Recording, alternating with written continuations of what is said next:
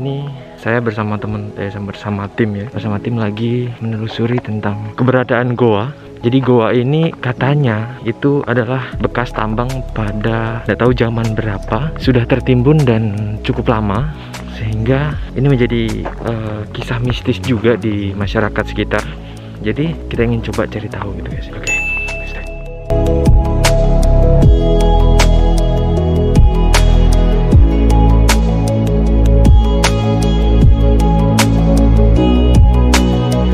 lokasinya nggak jauh dari pemukiman warga yang ada di desa GP Gunung Potong, bukan GP Ansor ya.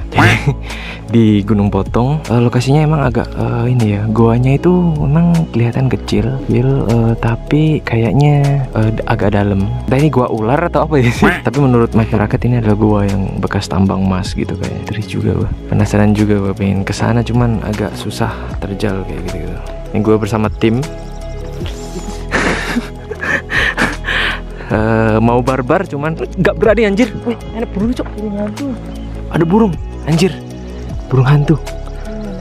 Wah guys ini emang bener-bener bener-bener mistis. Jadi waktu kita lagi mau pergi keluar burung hantu anjir gue langsung merinding bang ini bener-bener ekstrim. Iya ada burung hantunya. Pernah sampai kokonan bang? Iya bang ya. Tapi bener-bener ekstrim sekali geng muncul burung hantu. Siang-siang bang kayak gimana menurut mas?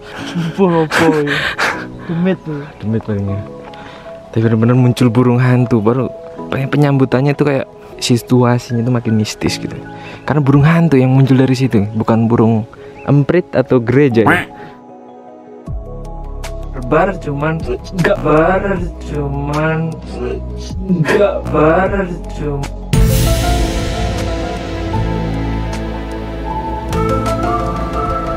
Emang ini katanya denger-dengar dari uh, kisah-kisah masyarakat katanya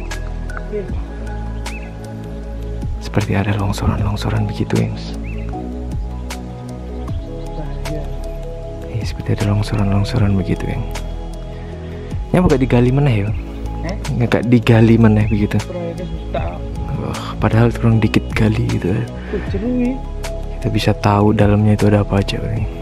Oh, oke, okay, Jadi tadi uh, sempat uh, ada kejadian aneh. Jadi di dalam lubang itu keluar burung hantu. Jadi burung hantu itu keluar dari situ, cuman kita mau manjat juga tebing tebingnya agak tinggi gitu kan ya. Terus takutnya longsor. Jadi kita memutuskan untuk uh, menunggu beberapa saat. Kan dari tadi ada kejatuhan-kejatuhan, bukan kejatuhannya, longsoran-longsoran kecil-kecil dikit dari tanah-tanah yang di atas gitu. gila banget sih muncul burung hantu. Warnanya agak krim gitu burung hantunya. Bukan putih putih mistis banget ya. Ya kita beberapa kali mendapati longsor. Benar-benar mengejutkan sekali longsornya sih ya dari sana langsung ada kayak kita di sini sementara lagi deg-degan juga nih kan bawon. Kita sementara untuk cari informasi. Eh kok lele bawon cok? Hmm, karena ada satu masyarakat yang masih iya uh, punya itu punya pengetahuan tentang uh, legenda bukan legenda ya. Uh, mitos-mitosnya di sini gitu. Jadi gunung itu tuh gunung ini nih katanya dulunya adalah tambang emas besar terus ditinggalin karena ada yang uh, korban di dalam lubang itu gitu. Tapi ya tahu juga ya karena mitos juga. Kita harus memastikan tapi bener ya dari tadi di sini kayak ada longsoran-longsoran gitu dari atas positifnya sih mungkin angin tapi negatifnya kayak ada orang jalan gitu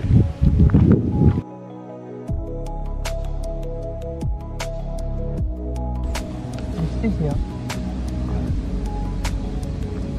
jadi kira-kira pirang tahun nih mbak paling kadang jadi hmm?